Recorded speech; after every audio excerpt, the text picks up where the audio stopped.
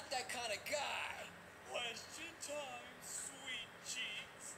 What's the name of our boss? Elvis!